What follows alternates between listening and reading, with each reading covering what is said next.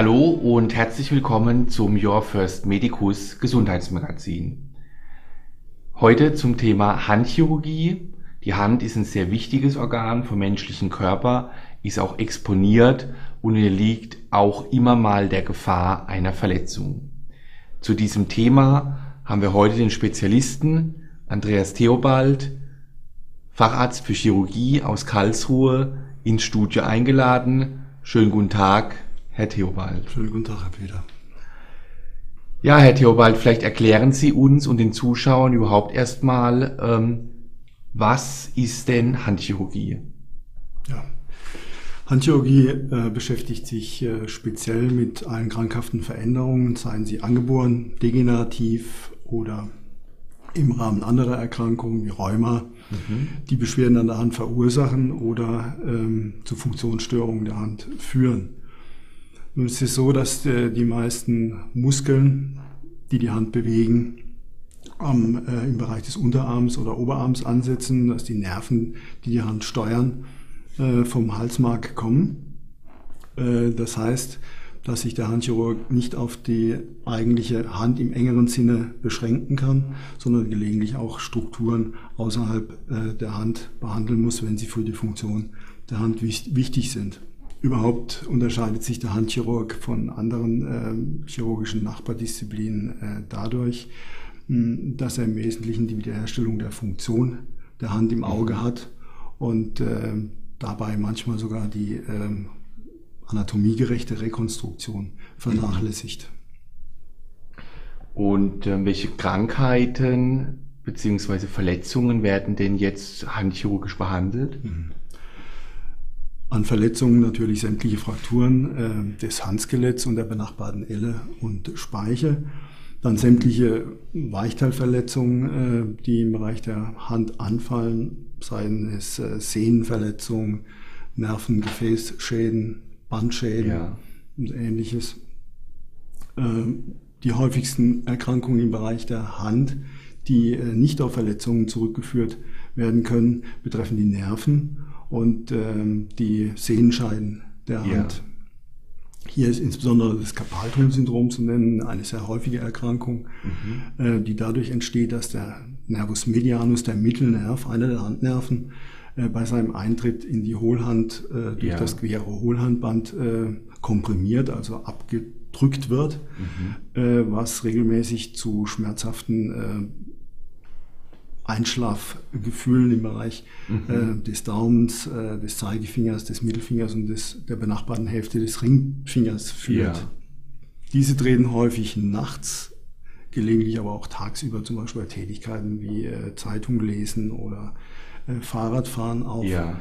im längeren Verlauf äh, persistieren. Also äh, persistieren diese Missempfindungen, also das heißt, sie bleiben ja. im ganzen, Tages, im ganzen Tagesablauf eigentlich äh, gleich. Okay.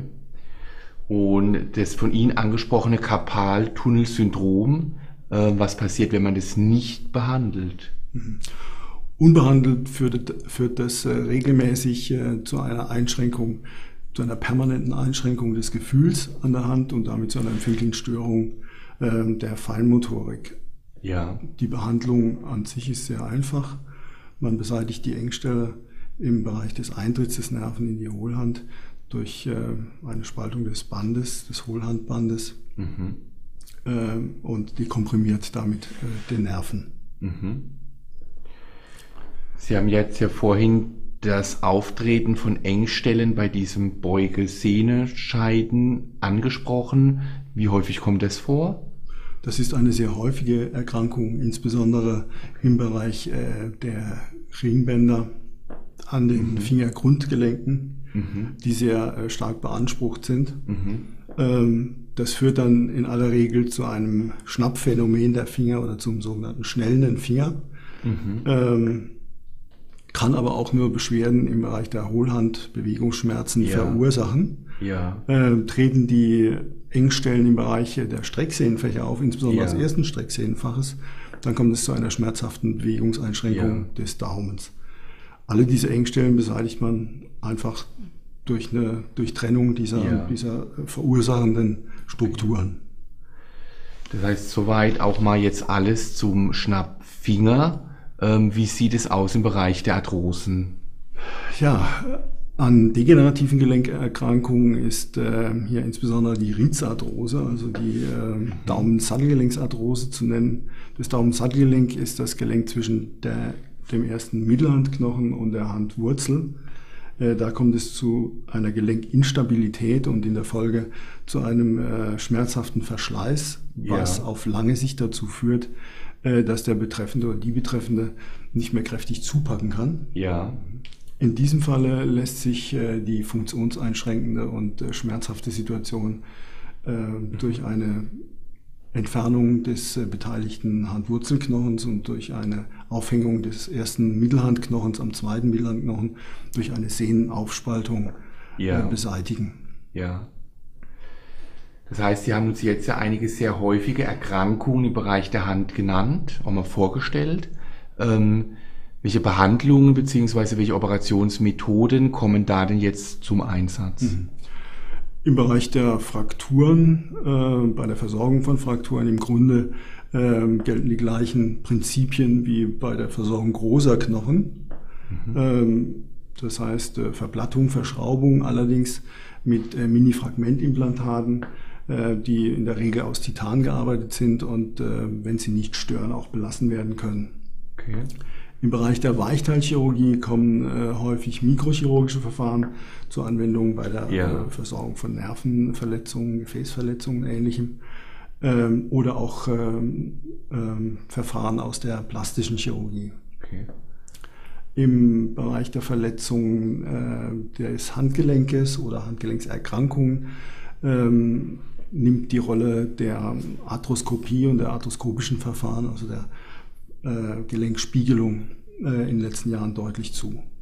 Okay. Und nach einer ähm, handchirurgischen Operation, wie sieht da so eine Nachbehandlung aus? Also wenn immer möglich früh funktionell, um ja. Verwachsungen und äh, Verklebungen und damit äh, Funktionsstörungen vorzubeugen. Ja.